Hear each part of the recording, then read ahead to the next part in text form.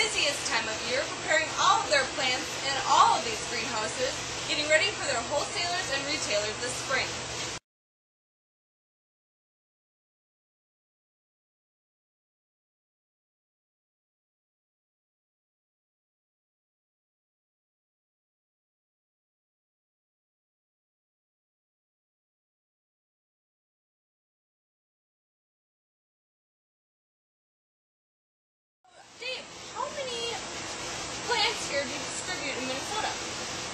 Well, we have 22 acres of facility down here underneath Classic.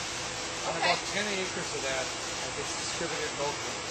Uh, Wow. The rest of the uh, acreage that we have are mostly uh, button bloom hydrangea, uh, button bloom roses that gets distributed all over the country. As far south as Georgia and as far north as Canada. Dave, you mentioned that you were Bailey is a unique facility here. So what types of things do you do that make you unique? Well, you know, we started this facility down here in Cottage Grove in 1982. And uh, we started with three acres of greenhouses at that time and focused mostly on propagating ornamentals, stuff like spireas and dogwoods. And since then, we've grown to the 22 acres.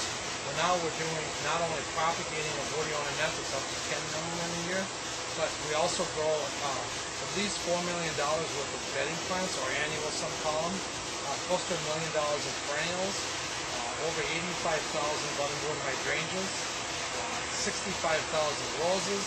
You get the idea, we do a lot of different crops down here. And, uh, and if you came here in the summer, you'd see a totally different atmosphere where we have over 10 million cuttings in the sand.